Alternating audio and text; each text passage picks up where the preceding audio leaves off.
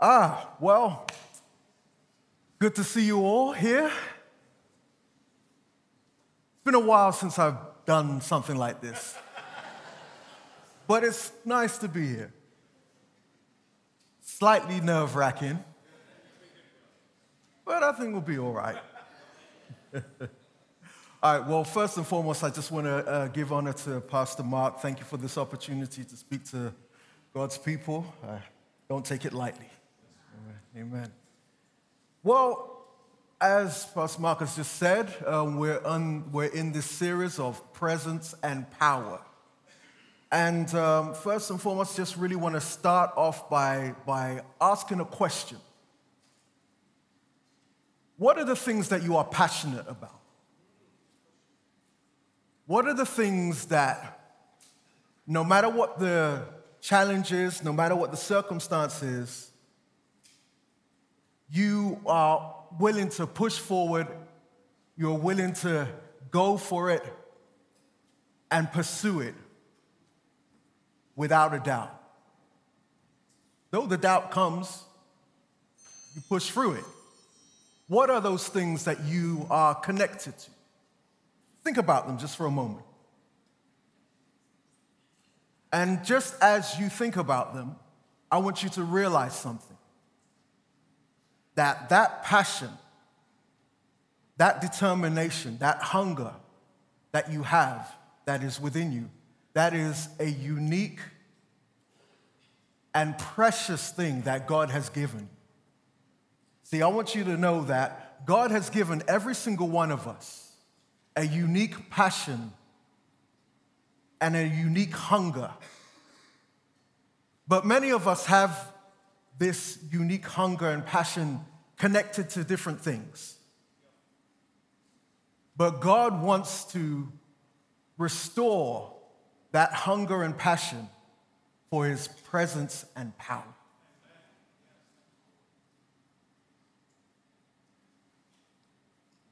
See, in the Garden of Eden, God strategically placed man in this wonderful place of paradise. It was a place of paradise and pleasure, Eden. That's what it literally means pleasure and paradise. And God strategically placed Adam in this environment. But the main focus of the environment was his presence and power. And that was the main focus. You see, environment is important, is important.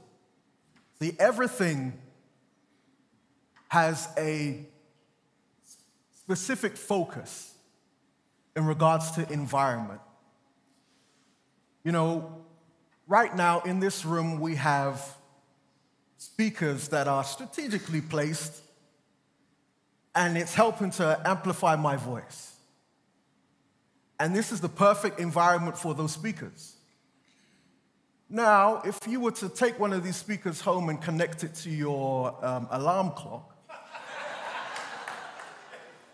you, your household, and probably your whole neighborhood would despise you. Yep.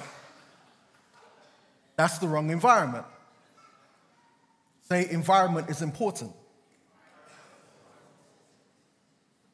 Now, I have my laptop here. Many of you have maybe like laptops or other devices, and they have a certain environment that they need to be in. Like, this is the perfect environment for my laptop to be in.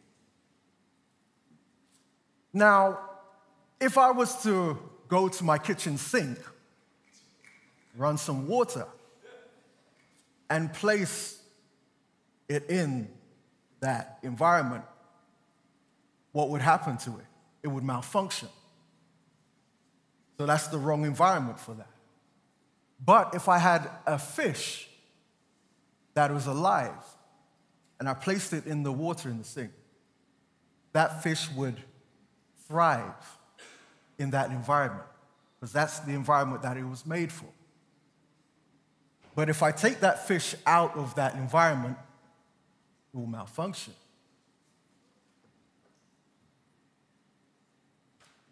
Put something that is not supposed to be in that environment, it malfunctions. Put something that's not put something that's supposed to be in that environment and take it out of that environment, it malfunctions. Take man out of the presence and power of God, what happens?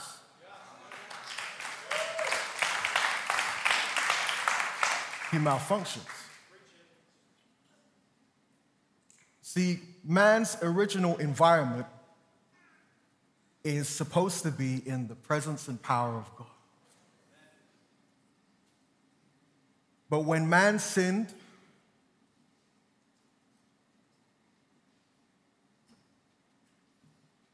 the presence was gone. When man sinned, he came out of the presence of God.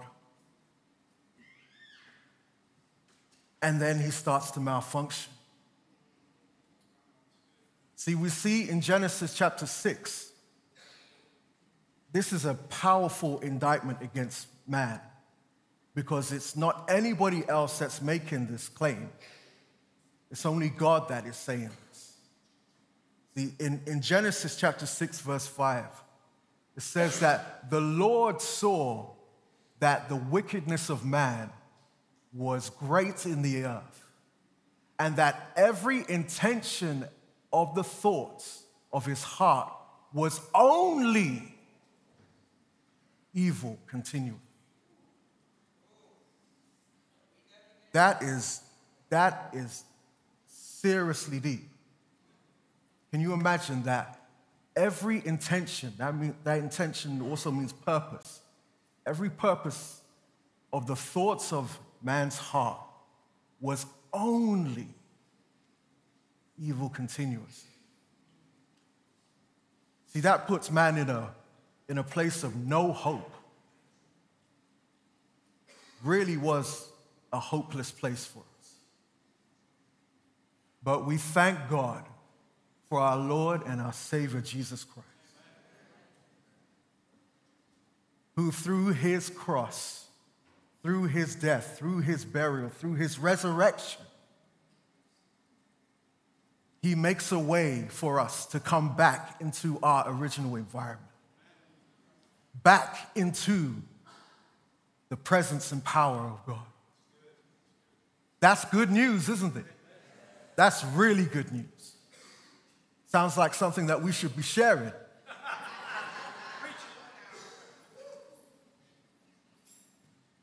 But having said that, I have, a, I have another question. Knowing this and knowing that we, oh, we have this way, we have this access to come boldly back into the presence and power of God, why is it that we, it seems like we're not going in as we should do? Why is it that it seems like we're not experiencing the presence and power of God as we should do?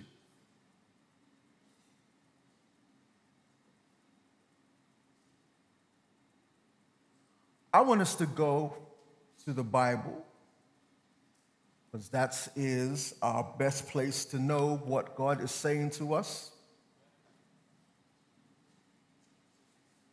We're going to take a look at Proverbs. You know, Proverbs, we know, is the, is the book of wisdom. And we're going to be looking at Proverbs 24 and verse 13 and 14. See, one of the most important things for us to understand is that, as I said at the very beginning, God has placed a unique hunger and passion for his presence and power. And if we are believers, if we are born again believers, new creations in Christ Jesus, we have within us that hunger and that passion for the presence and power of God. One of the great examples for us is, is David. You know, in, in the Psalms, it, talks about how David um, talks about his hunger and thirst for God and how he compares it to the deer that, that is longing for some water And in the same way, he says his soul longs for the presence of God. He's, he longs for God. He longs to see when can I when can I experience his presence once again? And one of the best ways that we have this advantage is that we can experience his presence and power through his word. In Proverbs 24 and verse 13, it says, My son, eat honey, for it is good, and the dripping of the honey are sweet to your taste. Know that wisdom is such to your souls. If you find it, there will be a future and your hope will not be cut off. Amen. That is powerful right there. You see, we see that example that, that they're comparing the word of God to, to sweet honey. And just like honey is desirable to the taste, the word of God is desirable to our souls. And so it is important for us to have that hunger and passion for the Word of God. And in, in that, we have this wonderful desire within our hearts. And as we open up our hearts to the Word of God, and as we look into the Word of God, it's like even what Pastor, Pastor Mark was teaching last week in, in, in regards to the, uh, the book of Ephesians where it talks about the eyes of our understanding being enlightened. You know, it's, he's just really trying to tell us what is already available to us. He's letting us know all these spiritual blessings and all these other things, we've already got it.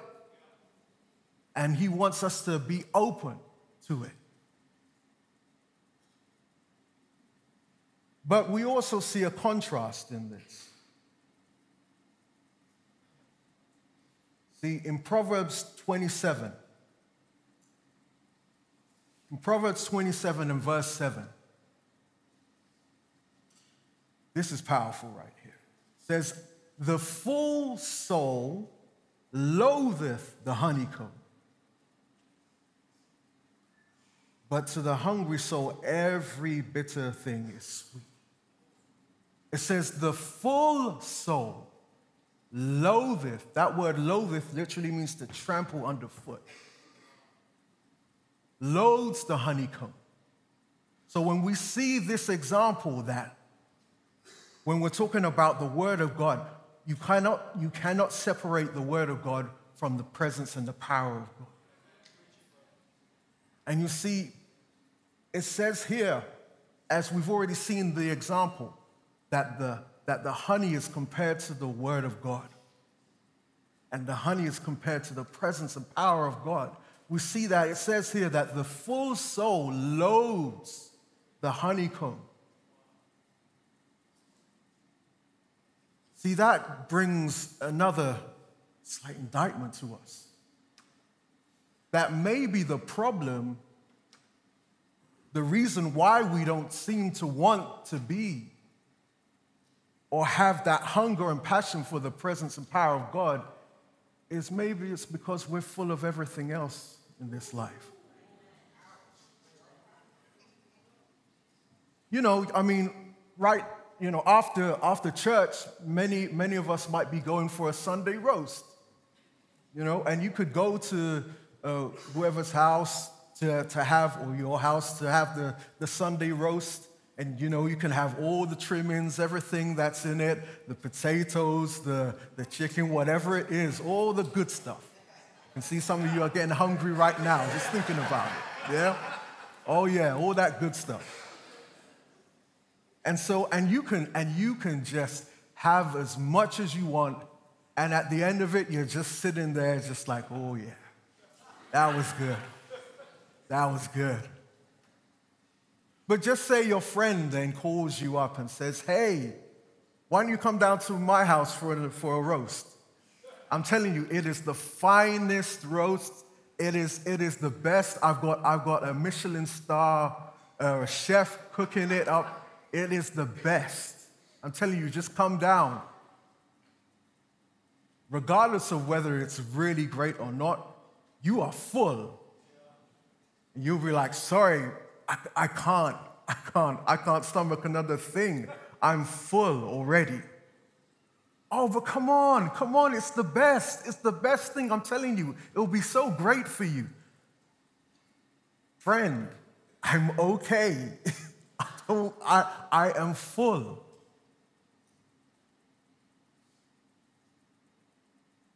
Having said that,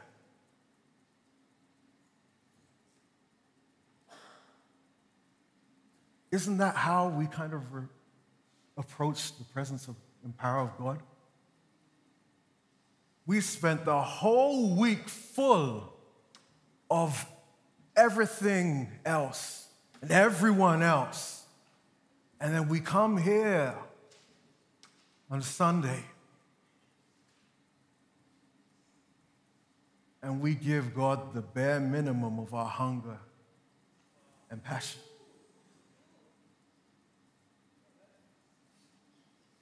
Once again, it seems like we're hopeless, isn't it? But once again, Jesus comes to our rescue, as he does time and time again. And he calls us out. He calls us out to, to have a deeper relationship with him. He calls us to draw near to Him. And that is so important for us to come to a place where we understand that we must draw near to God. And we can't wait for Him to draw to us, but it says that we must draw near first. See, it says in, in James chapter 4, it talks about how God is saying to us, draw near to me, and I will draw near to you. So, who's making the first step? We are. We have to make the first step. Oh, but Fred, you know what? This, this, I don't know about this. You know, this, this sounds like a lot of, you know, striving. This sounds, feels like, you know, like a lot of effort. It feels like we're trying to, you know, almost kind of force things to happen. You know, God said that, you know, supposed to give us rest.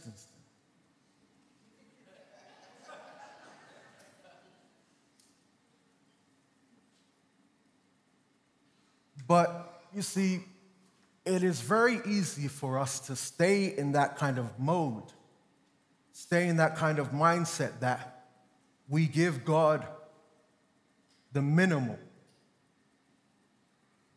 And so, you know, in the business world, one of the, one of the great things that, you know, we try and do is that we, we live by this principle of gaining the optimum results with minimal effort. Now, that's great for business, not so great for a relationship. I mean, can, can, can you imagine, those of you that are in relationships, those of you are, that are married, let me talk to the ladies for a moment. Ladies, ladies. Those of you that are married, like, I just, I just want to, you know, put it out there. You know, can you imagine if your husband came to you and the only way that he showed his, his, his hunger and his passion for you was to tap you on the shoulder and say, You're a good woman. And then he only did that on a Sunday. see, see, see, my wife is over there. She's like, Oh, oh, no way, no way. Can, can I get an amen from the ladies? Yeah? Can I get an oh man from the men? Oh man. I got to fix up. And if, if, you're, if, that's, if that's your situation, you know, I'm, I'm going to report you to Pastor Trevor and Pastor Mark, you know, for some marriage counseling. You know, and I say that, but this is what we give God.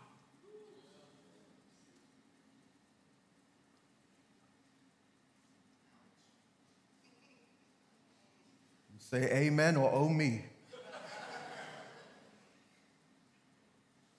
But I, but I want us to delve deeper because even with all of this, God is drawing us closer.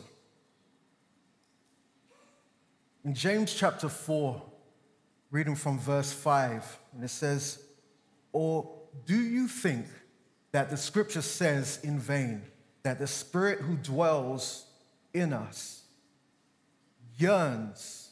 Now, that word yearns means to um, have an intense passion and desire and love for someone. But the Spirit yearns jealously for us. See, it is very important for us, and let me just get a bit of clarity in regards to the term jealousy, because sometimes we think of that, that term jealousy as almost like this weird human emotion.